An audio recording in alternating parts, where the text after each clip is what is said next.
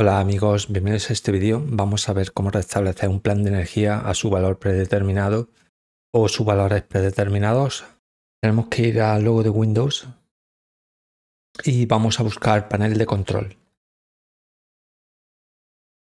Clic.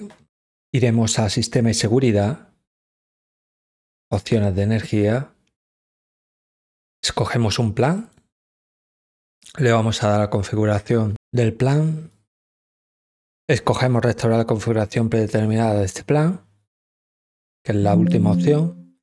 Nos va a aparecer el mensaje de si estamos seguros de que deseamos restaurar la configuración. Le damos a que sí para confirmar. No hay nada más, así de fácil es. Aunque este vídeo no se merezca un like porque es muy simple, pero espero que me puedan ayudar. Un saludo.